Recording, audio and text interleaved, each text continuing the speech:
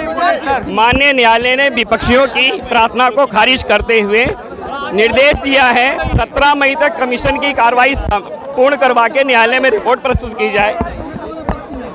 अधिवक्ता कमिश्नर अजय मिश्रा के अतिरिक्त उनके साथ एक अन्य अधिवक्ता की नियुक्ति की अधिवक्ता कमिश्नर की नियुक्ति की गई है। जिला प्रशासन को निर्देश किया, दिया गया है, किसी भी परिस्थिति में कमीशन की कार्रवाई को संपन्न करवाया जाए। संपूर्ण ज्ञानवापी परिसर की बैरिकेडिंग के अंदर की तहखाने की, सभी जगह की कमीशन की कार्रवाई को करवाने के निर्देश जारी दिए गए जी। देखिए, न्यायालय ने निर्देश दिया है, जिस दिन सत्रह तारीख तक हमें कमीशन की कार्रवाई की रिपोर्ट प्रस्तुत करनी है न्यायालय में। एक मिनट, में अपने उत्तर दे रहा हूँ।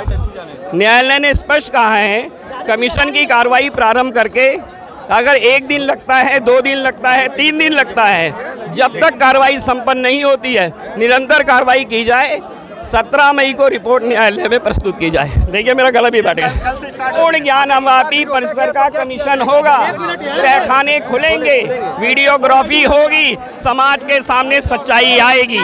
जिला प्रशासन को निर्देश दिया गया है किसी भी तरह का अवरोध पैदा करने वालों से सख्त कार्रवाई की उनके खिलाफ सख्त कार्रवाई की जाए। अच्छा, देखिए अभी मैं नाम भूल प्लीज़ प्लीज़ थोड़ी एक वकील लगाया गया है बता दें प्लीज़ दो लगाए गए हैं एक एक लगाया गया उनके साथ। सुनिए।